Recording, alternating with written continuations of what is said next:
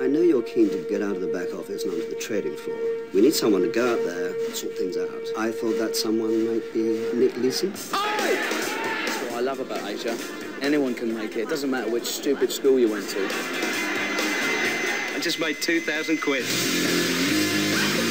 You number one, London. One of our traders in Singapore got drunk the other night and pulled a moon. What did you say? He exposed his bottom. We couldn't go on running Barings like a gentleman's club. We had to look beyond our traditional recruiting grounds to seek out a hungrier breed. That's very good, Nick. I hear Barings have almost cornered the market over here, thanks to you. You bloody star. The man is single-handedly generating a fifth of the group's worldwide operating profits. We are going to make so much money. Are you enjoying yourself, Nick? Yes, it's all right.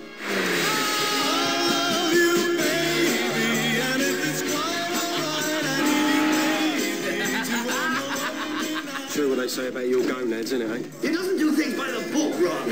You can't run a modern financial centre with a bunch of hooray Henrys.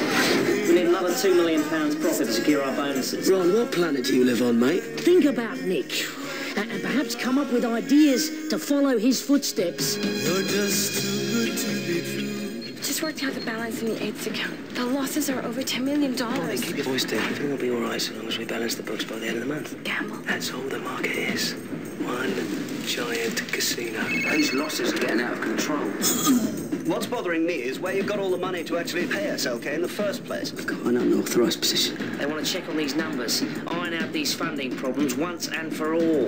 I, Nicholas Leeson, have lost 50 million quid in one